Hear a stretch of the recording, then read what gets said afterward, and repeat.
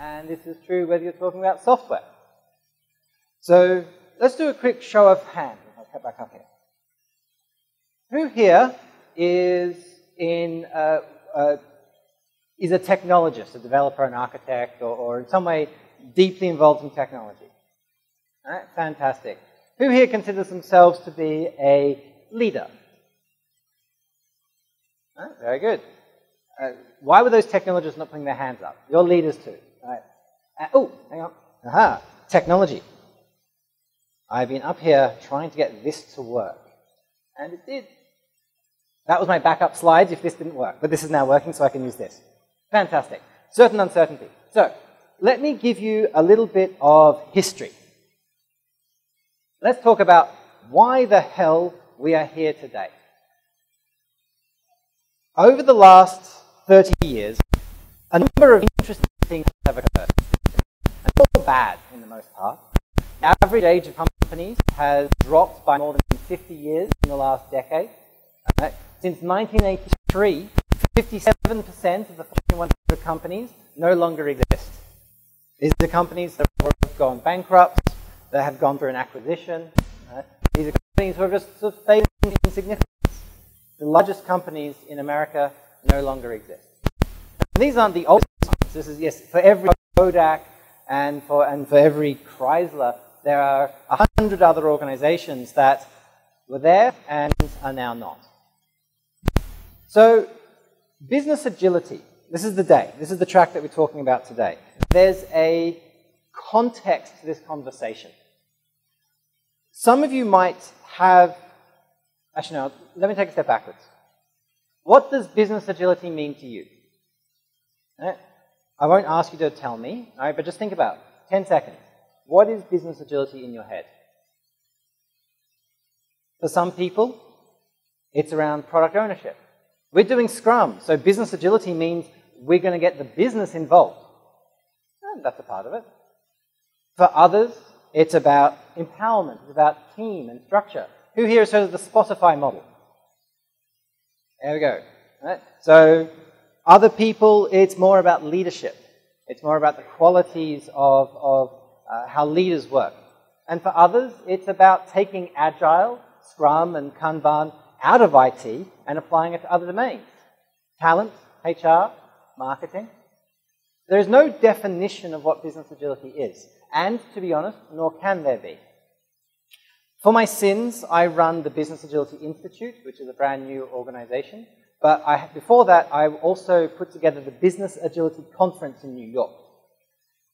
When I put on the conference, this was a community event. All of us were volunteers putting this together. And we had this idea, this goal that let's bring all the agilists together to talk about what business agility means and to come up with a definition. But as the conference got closer and closer, we realized that that was a foolish.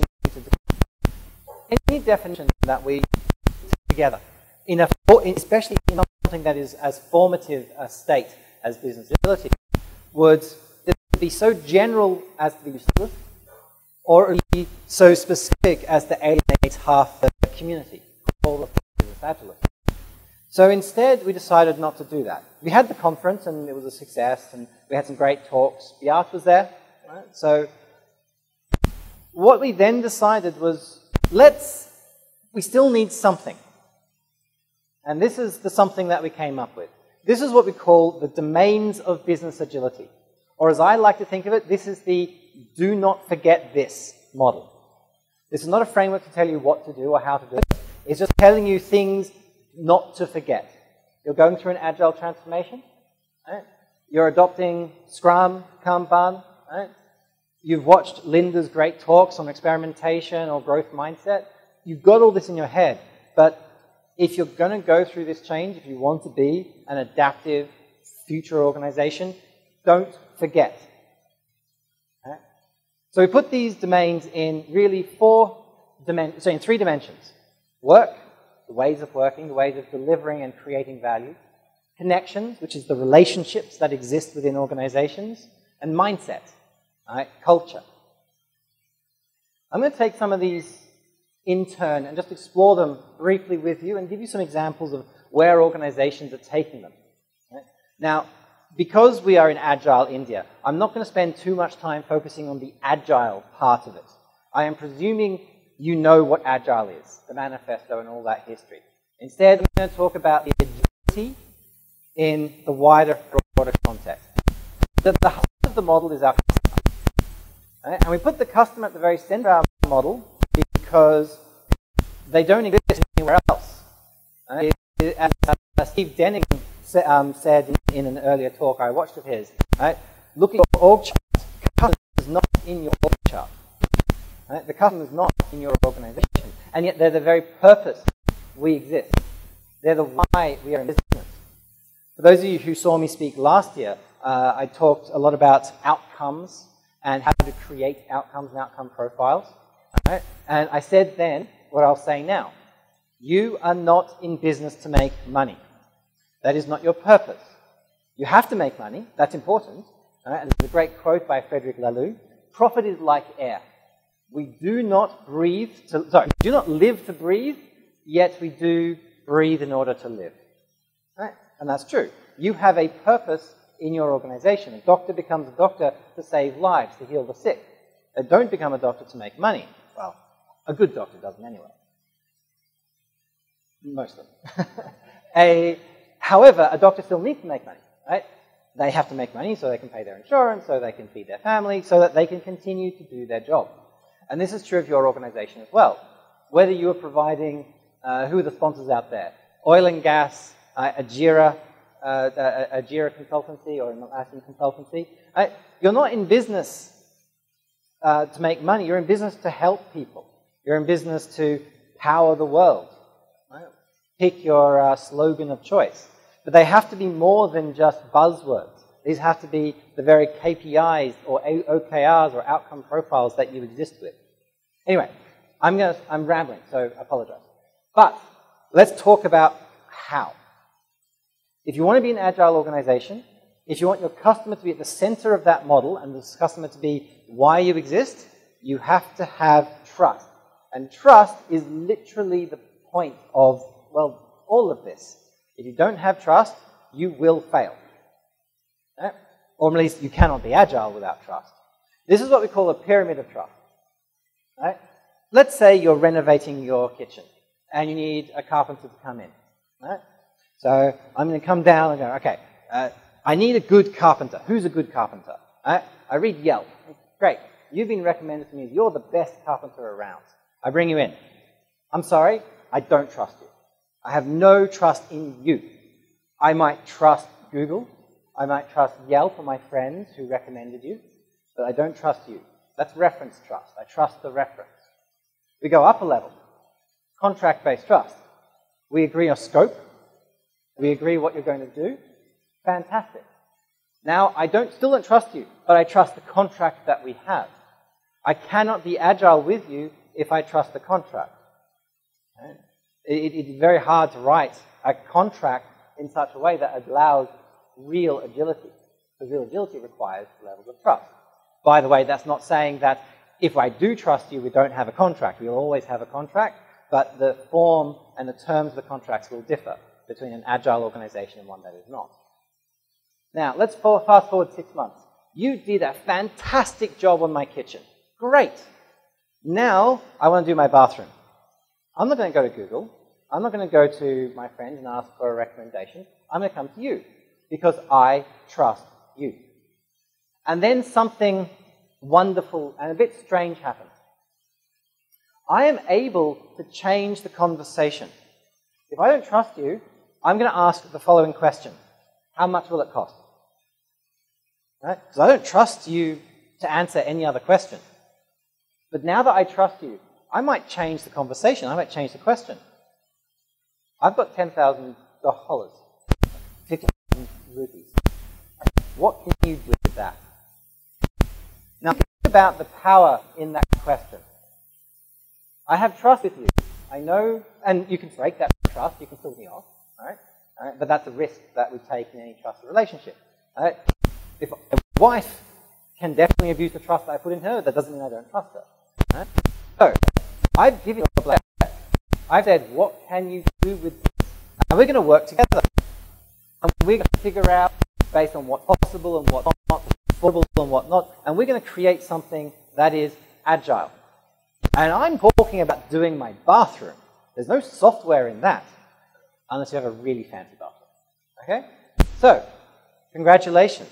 We are now, I now have an agile relationship right, with a, a customer-vendor relationship. Right? The customer is at the heart of the agility and can only happen when the customer has trust with you.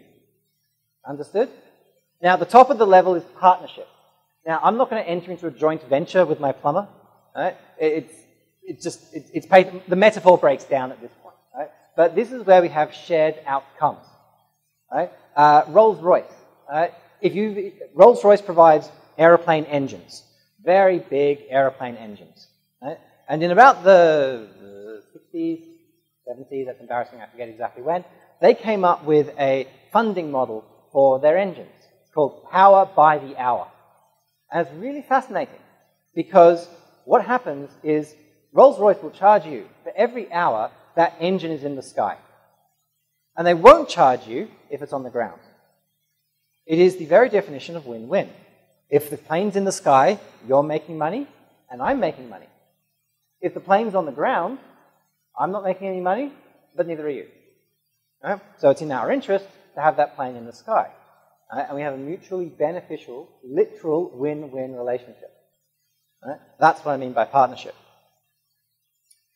But let's go into sort of how. The customer is why. They are why you are in business, not money. And certainly not to, to, to grow market share, whatever your shareholders might think, but they're why in business. Let's talk about your transformation. You're becoming an agile organization. Remember, this is don't forget model. These are things not to forget. Now, the work dimension, I'm going to skip over pretty quickly because, again, this is an agile conference and this is the domain of agile. Technical agility. This is the domain of DevOps and XP. This is the I am physically creating something of value, and I'm doing so in an agile way. Right? Process agility. This is the domain of Scrum and Kanban.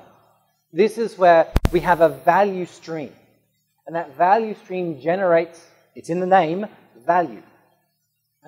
This is and, and this is where organizations focus so much of their transformational energy, transforming process. And that's fine if process is your constraining factor. I'll come to that in a second. The third domain under work is what we call enterprise agility. And this is where it starts to get interesting. Because this is now at a much broader level. We are now talking about agility across the entire organization. We are talking about agility between finance and HR and sales and marketing and your PMO. It's looking at the broader value stream and all of the handoffs and the pieces of the puzzle that go to making your organization work. Now, there's a concept um, which I talk about quite regularly. Um, if you haven't read, there's a book by Eli Goldratt called The Goal. In it, he talks about the theory of constraints. So allow me to very arrogantly introduce Evans' theory of agile constraints. An organization can only be as agile as its least agile part.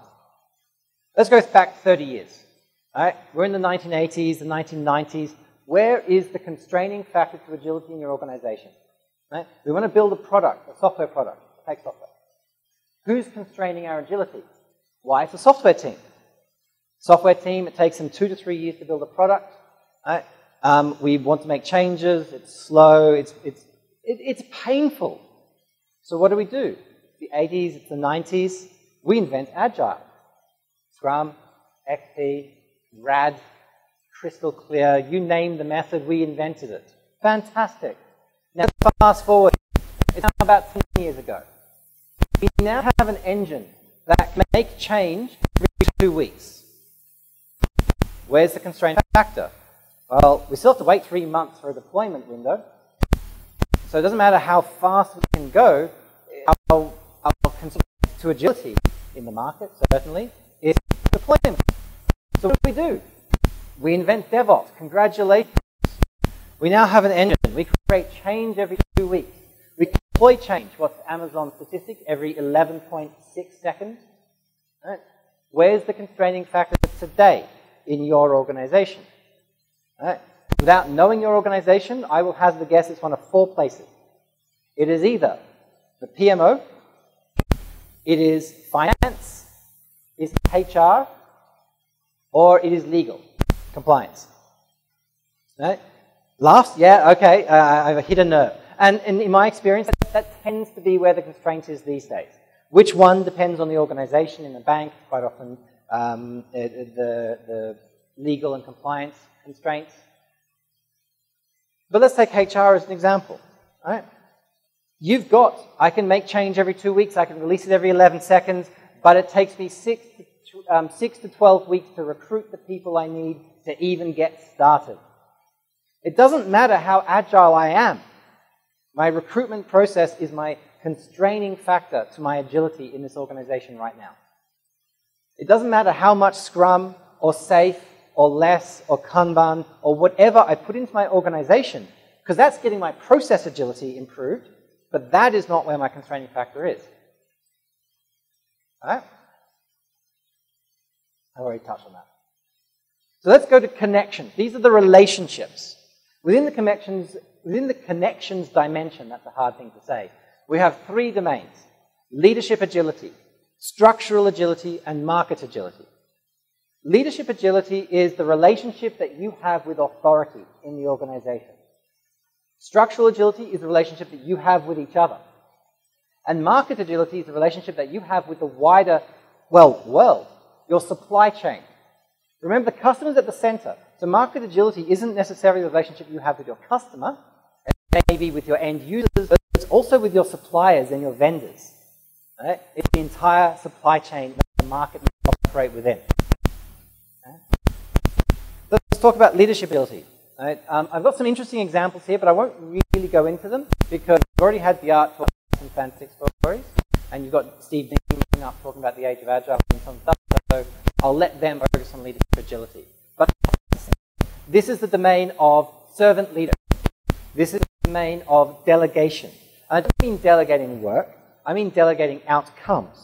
Authority and accountability that go hand in hand. You need both. This is not delegating, hey, I've got a piece of work for you. I, I need this report done by next Friday. Fantastic. That is delegation today. That is not leadership agility.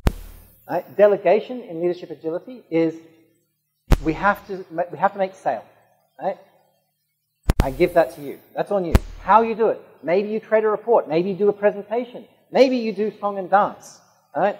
I have delegated the outcome, the business outcome to you. You are empowered, I hate the word, but you are empowered with the accountability, with, which is what literally delegation is, but also with the authority. Right? It's on you to decide what, what you need to do. If you need to spend money, spend money. If you need to make something happen, make it happen. There are constraints, there are regulations. You don't have a free hand. Nobody has a free hand. Everyone has some level of constraints. But you do have autonomy within the constraints of the organization and the organizational processes and, and cliff limits and all those wonderful things that companies put into place, it's yours. I'm not going to tell you what to do. I'm just going to tell you why we need it. The how and the what is yours. That is leadership agility. Structural agility. This is kind of the big thing at the moment. Right? Once upon a time, literally like four months ago, I was a consultant. Right? What do management consultants like to do? Restructure. Right? We love restructure. Why? Because it gives the perception of change. We shuffle a few people around, we've left the organization in a different configuration than we walked in, and then we've walked out again. Now, a good management consultant, that restructure will actually achieve something. Right? Not always what was intended, but it will, it will make some impact. Right? So structural agility is getting a bit of a, a buzz at the moment because teal, uh, teal organizations, Spotify model, right? half of you probably are starting to join squads and tribes now. Nothing wrong with that. Right? It's just this, this, the act of restructure is not structural agility. It's just the mechanism that one puts in place to achieve it. So what is structural agility? It's not just squads and tribes. It is about, well, let me answer that in two ways. Number one, we're talking about uh, the, the characteristics of an agile organizational structure. Right? And these are words you all know. Cross-functional teams. Nice and simple. Right? right? Reduce, like, delegated accountability. Ownership. Wonderful, wonderful words. Right? These are the characteristics. But structurality means look beyond your existing business models. Look, cross-functional teams does not mean we're going to get the developers and the testers in the same Cross-functional teams means we're going to put all of the skills necessary to achieve outcome in the same team together. Not output, but outcome. And that's critically important. So if a business outcome, if I require a recruiter, if I require an accountant, if I require a technical writer and a graphic designer, da, da, da, pick a hundred skills that you want, they are part of my, I will use the term, squad. Right? They are part of my team. Right? Now, 7 plus plus 1 2, we still believe that. Small teams are better. Right? But those can be the execution units. An outcome, a value delivery team, could be 100 people, broken up into specific execution units. But that team has the accountability and the authority to deliver on the outcome. That is fundamentally what structural agility is. Now, characteristics sorry, um, actual examples of this. You've got the obvious ones. Uh, who here has read Reinventing Organizations by Frederick Laloux? Right? Surprisingly few. For those of you who did not put your hand up, read the book. Right? There's a whole bunch of problems with the book, um, it, and it glosses over the downside of structural agility, of, of, what he calls a teal organization. But effectively, the premise is there is an organizational model, which he calls a teal organization, which is a network based organization.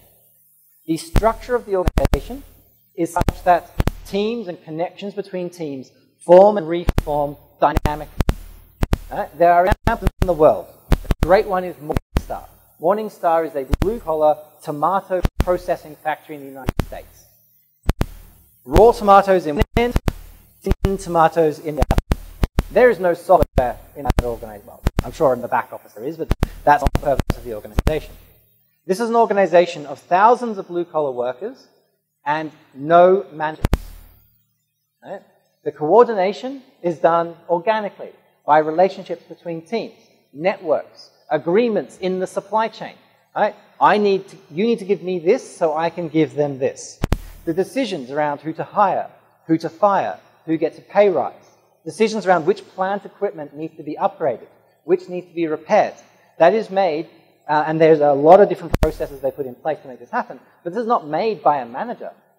This is made in the organization by the members of the organization. Right?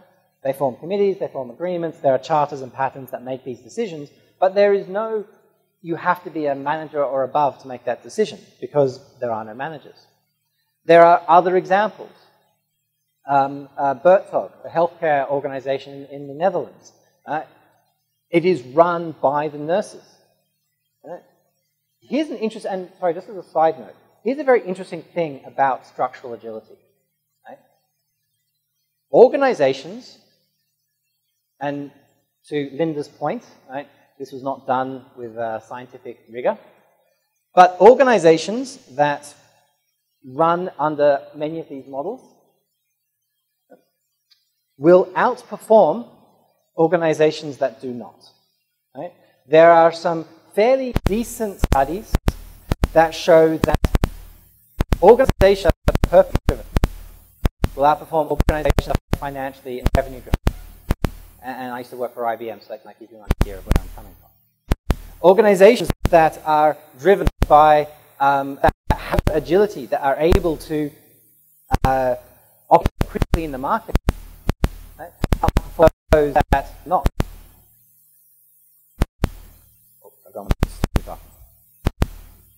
Structural agility, and, and it doesn't have, I've given you the extreme cases. Let's come back a bit. In your organization, there is already an agile structure. It's just hidden inside your current hierarchy, hierarchical structure. Right? Think about the network that exists. Think about how many bosses you have. Think about how the relationship that you need to build in order to achieve something. Congratulations, that is your network organization. You've already found it. Now, you want to make it better? Bring it closer. Reduce those, those lines of communication. Either make them either bring them physically into teams, right? Reduce the lag in that communication channel, make it faster, make it briefer, make it clearer. Right? That is how we get structural agility in an existing, very legacy hierarchical organization. Or it's how, how we start. Right? We still need leadership agility. If, if you want business agility, right, restructuring to Spotify model is not going to help because you still need leadership agility. You still need the other forms of agility in there to help you. Does that make sense? okay. The last one under the connections domain is the market agility. This is the agility that exists in your supply chain. So let me give you two examples. First of all, agile contracts. Who here is either a vendor, another organization, or works closely with vendors? Most of you. Who here has what you would consider to be agile contracts? One of you. Fantastic. Go and see her. Agile contracts are hard, right? Because most contracts are, what do we do? Fixed time, fixed scope, fixed, um, fixed time, fixed scope, fixed price, right? That is not an agile contract. There is no agility in that. But let's go back to trust, right? I'm not going to go pure T&M because I don't trust you. Right? If I'm IBM, you don't trust me with a blank check. Right? There has to be some commitment in that contract. So here's a suggestion. Agile Contract 101. I, I could spend an entire 45 minutes on this, but I'm just going to give you the, a, a quick answer right now. Right? The simplest form, unless you want to go purely with T&M, the simplest form of commitment-based contract for an agile engagement is the following. Fixed price with commitments. Fixed price does not mean fixed scope. So it's going to be a million dollars, and these are the commitments that we put into place in the terms of this contract. Number one, MVP. Right, now, MVP means 20, 30% of the size of the contract, not 80, 90% of the size of the contract, as I've seen many, many, many times. Right? Commitment number two, quality. We guarantee a certain number uh, level of defects um, in production. Right? We will not commit to defects in test. We want to find defects in test. So no measure should stop us from creating, finding, and rectifying defects in test. The measure should be in production. Right? Mean time to resolution. How quickly will we fix the defect that we find? Right? Now, um, uh, do we use velocity as a commitment? No. Congratulations. You've all at least passed that one. Velocity is a bad measure, except I can give you an example where velocity can be part of a good measure. Okay? So, the problem with velocity is it can be gapped. But let's take another relative measure that we can use. We have story, velocity is the, the story points delivered per sprint. So, story points is relative measure. Right? This harder than this. This is one, so this is a two. Value points. Value points. This is more valuable than this. This is a one, so this is a two. Who estimates the value points? The business, the product owner at best, oh, sorry, at worst, the customer at best. Right? So the customer estimates the value points, and the team estimates the story points, bring them together, we call that ROI. Right? How are we going in terms of delivering value per time? Highest value, lowest effort should theoretically be done first, all other things being equal and dependencies not being taken into account. If you want to put into your contract a throughput measure, you can use cycle time, by the way, that's another one. Um, but if you want to put a throughput measure, do an ROI measure. Right? We guarantee a certain percentage of value to velocity ratio, right, based on whatever the baselines are agreed on. And then, what happens if you exceed that ratio, or under that ratio? We stop the contract. And you know what the great thing is? We want to stop the contract because the ROI has just gone negative. Right? So that is the only way you can put velocity into a contract. So let's go about mindset. Let me just check my timing. I've got 15 minutes. Fantastic. Mindset. Three domains under mindset. Learning, collaboration, and ownership. Right? A learning mindset, organization. You have the mother of this sitting at the back of the room. She was the one who taught me about growth mindsets. I have literally no idea when I first saw you speak, probably about six years ago. Right? Uh, growth mindset is key. Right? She, I will, as a side note, as a personal note, she has literally changed the way I raised my daughter. Right? My daughter is five years old, and she has changed how I teach. there we go. I've embarrassed her. Fantastic. She has changed how I raise my daughter. Uh, anyway, side point. You need a learning organization.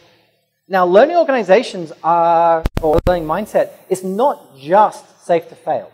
It's not just a culture of experimentation or, or uh, trialing. Right? That is a part of it, absolutely, but it is definitely not the totality. A learning mindset is also being able to understand your strengths and your weaknesses. Right? There are some organizations when, when a team forms, everyone will say, Hi, I'm Evan, right? this is my role in the team, and my biggest weakness is getting me to shut up. That's true, by the way. Um, that is a learning organization. One that is willing to own up to weaknesses, own up to their strengths, and actually be willing to make an effort to improve on that. This is an organization of Kaizen, of continuous improvement. This is an organization of the retrospective. Right? These are all mechanisms that help us create a learning mindset. And you cannot have business agility unless you have it. Um, I'll give you an example of where I've seen this uh, really apply. Um, it was a financial institution in Singapore. And they wanted a culture of safe to fail. And they tried different things. They, because here's the problem with banks. You get what you measure. And what do you measure in a bank? Money. So people are incentivized to make money at all costs. And that has, if you look at what happened with Barclays, RBS, there have been some blatant abuses of that uh, motivation. Right? So, uh, this organization want that. They said, we want to create a learning mindset. You use those words, but that's what they were trying to do. They want to make it safe to fail. So, first things first, what did they do? The leaders tried to embody safe to fail. They would talk about their failures. They would make it, uh, they would make it easy to have that conversation. But here's the secret: nobody likes to fail. Uh, you can talk about it if you like, but the more you enforce that conversation, the more someone's just going to pull out a, a trite answer. Oh, I brought down the test system because my code didn't compile. I fine, that was a failure, but realistically, what did you learn? So they tried a few other things, but what they ended up settling on was exactly what I said before. You get the behavior that you measure. So what did they do? They put in place a failure KPI. Very interesting. The KPI went as follows. Right? You must demonstrate that you have failed, and then obviously learns from that failure, at least once per quarter. Now, obviously, the level of the organization that you are in determined the size of the failure. A software developer is not going to bring the company to its knees, and at the same time, if the CEO said, I broke the build, we're going to have a different conversation about failure. Like, why is the CEO touching the build? Now, this changed the dynamic because no longer was it safe to fail, it was compulsory to fail. And I got asked one question, right? What if I don't fail in that quarter? I don't get my bonus. Right? To which I only had one answer. Right? And remember, this is management consultant heaven. Right? The answer is you're fired. Right? Why? Because either you're lying to me, right? or two, you're not taking enough risk both of which is not part of the culture that we want to develop. Obviously, I didn't tell them they were fired, but that was the, that was the principle. So this was a way that we tried to develop, uh, to measure a learning mindset. And once again, as as, and remember, safe to fail is not the totality of a learning mindset, it's just an element of that. The second domain is a collaboration mindset. And this is somewhat similar to structural agility, but it goes to the way in which we work. Right? Somebody, speak of firing people, this is another thing that Ask somebody for saying. That is not in my job description. All right? This is not an agile organization. You may not know how to do something, but we're working collaboratively. We are working towards a common outcome. Right? If you have to roll up your sleeves and something that, hey, let's learn something new, or I'm going to go and do that job for a week because someone's just uh, called in sick and we have a, uh, we have a release next week, then that's what's got to be done. And this goes cross silo. A collaboration mindset is not where you go, I've done my work, I've handed it over to the dev team, all right, it's with them. I have just abrogated my accountability, or I tried to anyway. I've said, it's with them, I'm fine, I've done what I needed to do, it's with them. Go talk to them, don't bother me anymore. Collaboration mindset says, no, you own, if, if you touch it, you're part of it, till it's gone, until the end. And this is, the, and, and this is fundamentally where agile organizations, because you've got this accountability, because you have this authority and the autonomy that comes with that, right, it comes with you must collaborate. Right? You don't get a choice. You can't hand off. Right? I'll give you a good example, and this, and this covers a couple of domains. I was working with a trading organization, uh, sorry, a software organization, um, also in Singapore. And this organization had a problem with their, uh, their customer satisfaction was low. Right? Um, what was basically happening was that the sales team were selling more than could be delivered. Right? Because the sales team were being measured or being paid on commission. They're being measured on the number of sales. And if they sold something that was either impossible to deliver or couldn't be delivered in the time or whatever reason, that wasn't their problem because they'd handed the problem off to the dev team.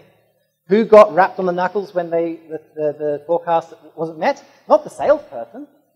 They've moved on. They've got their commission. They're trying to sell the next thing. But the dev team. So this organization realized they had a problem. And so they did a couple of different things. So the first thing that they did was they got rid of the sales team. Right? Actually, technically, not quite true. They got rid of the team, but not the sellers. The sellers got embedded into the delivery teams. Right? Talking about cross-functional teams. This is about as cross-functional as it gets. Sellers embedded into the delivery teams. They became more account partners than sellers per se, that they did have to go and build new business. Right? It, it, improved collaboration, but there was a few things that, that was step one. Right? What was still happening was they were still trying to sell more. They couldn't escape it anymore, which meant their job satisfaction went down. The dev team's satisfaction didn't really go up. So we just brought everyone a really low level, which is not what you want to do. So a bit further, we said, why is this? Well, to my point earlier, you get the behavior that you know. So we with the sales KPI, or we changed it. So they were no longer paid on commission. The salespeople were paid base salary like everybody else. Right? Bonuses were paid to the entire team. So first of all, team morale went up. Right? Because the worst thing you can have is one team member being paid half a million dollars for doing something, and they do all the work to build it, and you just get a salary. Right? So we brought everyone's salary to a base level, right? and there was a much smaller bonus. Right? The best sellers, their average annual take-home money went down. The worst sellers went up a bit, but everyone sort of um, ended up neutral. As a side note, we lost about 30% of the sales team when we did this. Right? But that was actually okay, because once we'd normalized the KPIs, once we'd normalized the, the incentives and, and the um, uh, uh, and the the, the motivations and the, fun, and the pay and all that sort of stuff, once we built it all together, a remarkable thing happened. Team morale went up, right? They started collaborating quite closely together, and repeat business from existing customers went up by 80%. And for those of you who don't know, right, it costs more to acquire a new customer than to sell to an existing customer. So if you can increase repeat business, Right? That is the best thing that you can do in an organization. So with that increase, um, uh, new sales went up by about 2 or 3%. It was statistically insignificant increase in new sales. So that change in how that sales team operated was a fundamental shift in, fund in collaboration. It's why we made that change. The final domain, ownership. And that should be an ownership mindset, not ownership agility. Ownership mindset is not one of perfectionism. Right? I take pride in my work. I'll make sure it's done right each and every single time. Perfection is not the same as ownership. Right? But this is about making sure that I take pride in work that we as a team do, that I as an individual do, and that I will make sure that we are going to serve the customer to the best of the ability within the constraints that we have. Right? If I take a level of pride, I can't own it. And, I, and there's a question that you have to be able to ask. Right? Do you take personal pride and ownership in the financial health of your company? You don't have to answer. Uh, most of you, the answer is probably going to be no, that's my boss's job. Right? That's not business agility. Right? Ownership means I'm going to take pride. Does it mean I'm, I'm going to stay in this job the next 30 years? No. Right? I, of course, I might leave in two years, but when I'm there, I'm going to take that ownership of the work that I'm doing. That is agility. So this dimension, these nine domains, these three dimensions, I, as I said, this is not a framework. It's not telling you how to do anything. Right? Scrum, Scrum is process agility, a bit of learning agility, right? collaboration agility. Right? Beyond budgeting, you've got some leadership agility, you've got some technical agility because accountants are agile too. Right? You've got some collaboration, learning, and ownership. Fantastic. Right? Uh, Spotify model, well, that's structural agility and about it. Right? You want business agility? It's not one thing. Right? It is a, it is a, it is your organization coming together as a, as a almost a single entity and changing all little parts. Remember Evan's theory of agile constraints? Somewhere is your constraining factor. Right? And you can use something like this to help you go, if it's not process, if it's not IT, where is it in the organization, and what can we do to fix it? Thank you. Questions?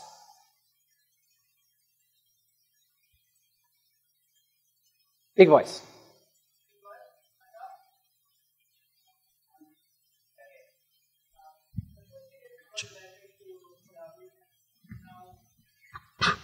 when the organization is new to agile framework, that's where we, what I have observed is that we struggle with the collaboration. Why? Because top performer is always overloaded and the poor performer actually hide behind the scenes. Now when the maturity goes up, it's well and good because everybody participates in that.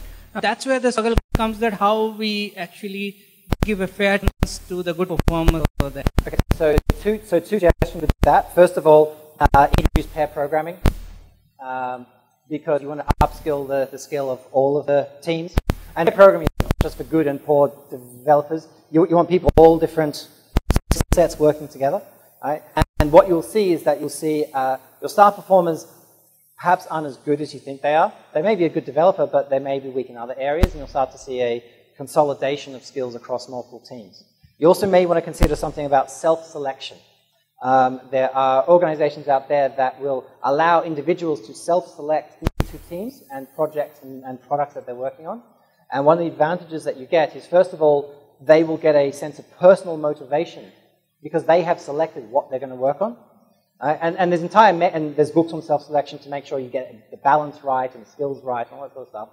Right? But um, uh, when you do that, what you find is because you've got that personal motivation, you've got mediocre performers who suddenly become much better, much more uh, actively engaged because they're personally brought in and personally motivated by the work that they're doing. Um, it's, and then the other thing is, if, you're, if you really have a bunch of really low quality people, you've got a different problem. right? Yeah, so, I understand that. That's fine. Hopefully Thanks. that's not the case. Hopefully it's just a matter of skill and experience, in which case time, effort, pairing, self-selection will help some of those issues. Thank you. One last question. Only one. Oh, I overran. Hello. Hello. So I'm quite interested to know that we can have something like failure KPI. Yes. Yeah. Yeah, and uh, if you see the current This was model, an Asian company, by the way. Yeah, the current model is like we always have a KPI that uh, your budget accuracy should be 99.99%, your defect should be this, this, this, this. So this is first time I'm hearing. So, uh, I mean, do you have a case study or more example that once it is being implemented? So I gave you one example. We've actually implemented failure KPIs in four organizations um, in the past. So, and in each case, there's been a positive outcome. Um, but I will actually go more fundamentally. Forget the failure KPI for a moment. You get the behavior that you measure. I've said this multiple times. Right? If all you're measuring is financial performance, you're going to be uh, optimizing purely for financial performance and not for customer need. Right? The KPIs that you have, or OKRs, KPIs, outcome profiles, pick a model that you want, right, need to be focused on what does the customer want from us. Right? The financial elements are nothing more than a metric. They're an indicator that we are serving our customer. They are not the measure, sorry, they are not the outcome that we're trying to achieve. So there's a more fundamental issue about what you're measuring and why you're measuring it. Um, and, and, another thing around, uh, it, when you say your, your KPIs around money, right, uh, I'm going to guess your organizational scorecard also has a customer satisfaction KPI. Most do, yeah. right? Does anyone get fired if the customer satisfaction KPI is not hit? No? Do they get fired if the financial KPI is not hit? Maybe, probably. Right? So the incentives and, and, the, and the penalties for not meeting certain KPIs are different, which means I don't give a damn whether we hit customer satisfaction because I'm going to get fired if we don't hit the targets for this quarter. So that's all I'm going to focus on. And it doesn't matter what other KPIs are put in place, that's the only one that really matters. Right? So the rewards and benefits for the KPIs have to be systemic, as in at a systems level, not just individual, which is you hit this one, great. You hit the rest, that's just icing on the cake. Right? Similarly, going back to why you exist, right? This, this idea of measuring what, I'll give you another example, uh, and I know I'm out of time, so I'll be very, very quick. I used to work for IBM, and I probably shouldn't say this, but I'm going to anyway. We made a change to the account model of how we operated with some of our big clients. Big, big vendors have accounts, teams of sellers and, and specialist skills that will go in and try and sell more stuff to that client. So we went into the client and it's like, the, this, the account structure was based on IBM's product offerings, which is fine, but that's not why, that's not how the customer wants us. The customer has a, has a problem that they need to solve. Right? So we shifted it and we said, okay, customer, what are your organizational scorecards? What's your KPIs? Right? And we give those KPIs to our sellers, right? So this changed the behavior. It was, and, and yes, they still had to sell a certain amount per quarter because it's the IBM, but I'm now no longer selling one product. I'm selling a product stream because I'm focused on you're my client. You're trying to achieve a, uh, you're trying to release a new product, a new banking product to market. Great. Right? That is my KPI as well. And whatever I can do to help you achieve that is what we're going to do. My bonus relies on you being successful. Right? And that really changed the level of conversation in the organization. Right? It, it, stopped being about, hey, we have a new, uh, a new product, please try and sell it. It became a, how can we help them achieve their goal? And sometimes the answer was, you know what? You should go to this other organization because that product is going to help you right? rather than try and sell IBM every single time. Thanks. So I'm now completely out of time. If you have any questions about what we're doing with the Business Agility Institute, come up and chat to me after this. Thanks, Stephen.